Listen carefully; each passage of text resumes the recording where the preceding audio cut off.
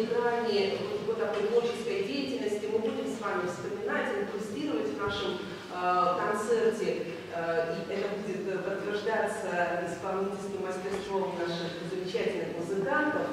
Но э, вот в своем вступительном слове мне бы хотелось еще подчеркнуть мысль о том, что всех современников, тех, кто слышал игру э, блистательную э, Павла Ивановича Чапаренко мастерства, э, потрясал звук его балалайки. Звук сильный, звук яркий, даже гипнотический. Э, у э, балалайки Чапаренко была, было свое лицо. Его даже так и называли, Нечапаренковская балалайка.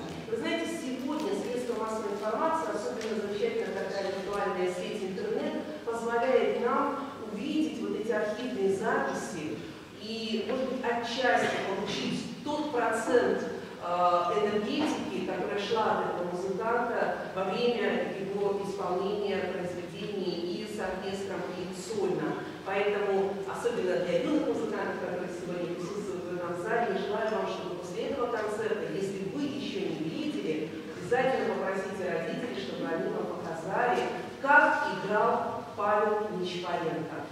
Э, музыкант, который пронес имя балалайки по всему миру. Э, в течение своей творческой деятельности он представил сотни и сотни концертов в самых разных странах мира. И надо сказать, что через игру Нечипаренко публика просто узнавала, что такое весь инструмент балалайка. Потому что в ранней прессе, в 50-х, 60-х годах, э, в американской прессе, в Латинской Америке, в Новой Зеландии и Японии появлялись заметки, где шло просто описание на каком-то треугольном инструменте. Он вдохновлял так, что заставлял плакать публику. Его называли саблезубым тигром. И называли его Тореадором, который своим, своей игрой мог покорить э, Кармен, исполняя свою фантазию, исполняя фантазию Кармен по опере э, Жоржа Бизе, он как Тореадор покорял вот этого красного быка, ну, образ такой был взят музыки. Э, Павел Нечипаренко – блистательный профессор Гнесинского института, Академии музыки имени Гнесиных. И до сих пор, потому что э, ушел он из жизни в 2009 году, э, не так давно, как бы, да, по времени, э, ученики, выпускники класса э, этого блистательного мастера, всю свою многолетнюю деятельность, они с особой гордостью несут звание учеников Нечипаренко.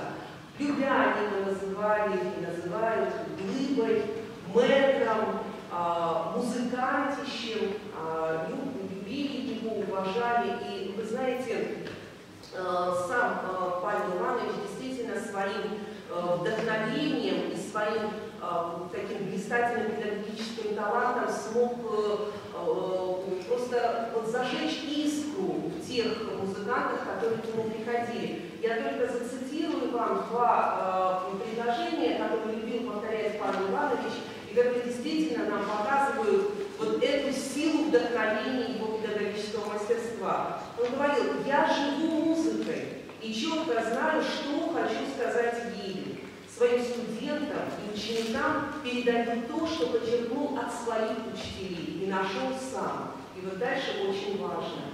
Надеюсь, что они передадут накопленный мой опыт дальше, прибавив частицу себя.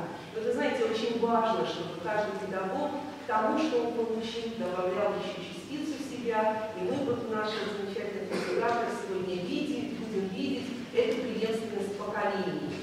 И радостно, что у нас в Беларуси живет школа Чапаренко, и на протяжении многих лет а, у нас работают выпускники его класса.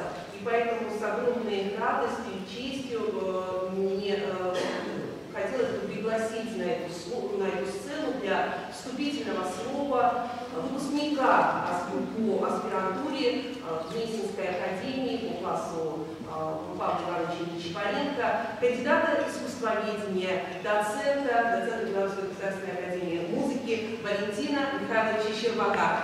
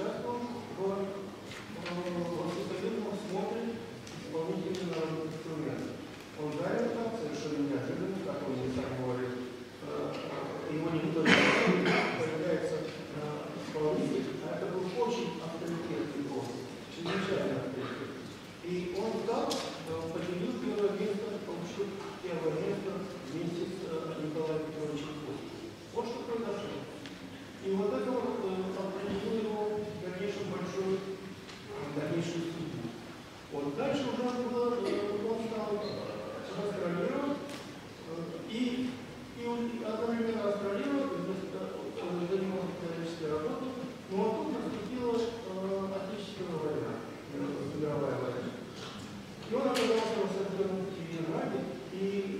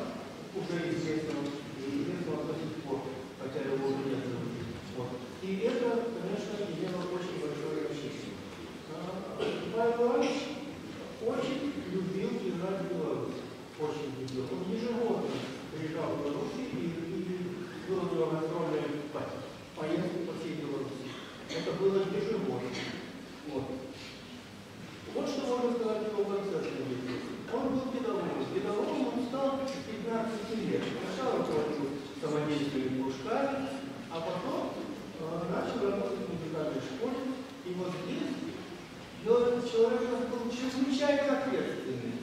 Если он брался учить, он э, должен был учить по самому высокому разряду, на самом высоком уровне.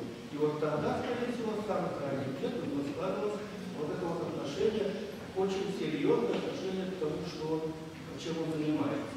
И вот то, как играть на балалайке, это он одно дело играть на балалайке, а другое дело объяснить это.